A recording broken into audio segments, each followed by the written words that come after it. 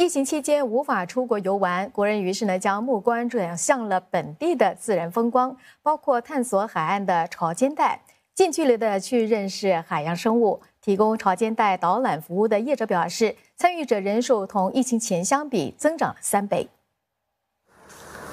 清晨五点，天还未亮，张沂海滩出现了准备去探险的导览团。聆听向导给予的安全指示之后，大伙儿便开始出发，沿着沙滩行走。趁潮水退去时，看看这些海洋小生物。This guy is actually the thorny sea cucumber.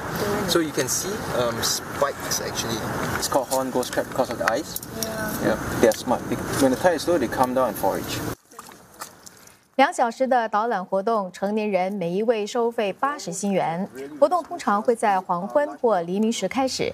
导览员一天最多能够带领五组人，每个月最多有八天的导览活动。同疫情前相比起来，需求增加了将近六成。50% locals, then we have of course 50% expats, um, and these people are actually very interested in nature and wildlife. 参与的民众都表示获益良多。It's just interesting to see that there's so many different types of animals in Singapore. I think the myth of Singapore is that it's boring. There's nothing to see here. 不过，探索潮间带存有一定的风险。包括瞬间涨潮导致溺水、泥路和踩到危险生物等，因此专家不建议人们独自前往。